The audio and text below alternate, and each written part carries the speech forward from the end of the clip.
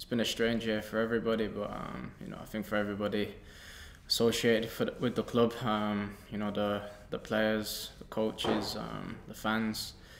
It's been a it's been an incredible year for us. Um, you know we've uh, we've achieved what we set out to do, and you know there's still a lot more to come. Hopefully.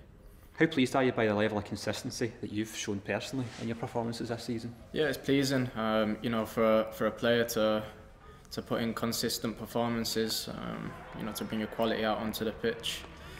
Um, that's what keeps you keeps you in the starting eleven. Um, so you know, every player strives for that. Um, you know, it comes with working hard on the training field and then carrying out the you know the manager's philosophies and, and what he requires of you. What about the numbers that you've contributed this season, both in terms of goals and assists? Yeah, that's been a, a big target for myself this year. Was was to add numbers to my games. Um, you know, I'd still like to probably get a few more. Um, hopefully, add them. You know, with the remaining games that that's to come. Um, but um, you know, I'm definitely pleased uh, with, with the outcome of that this year.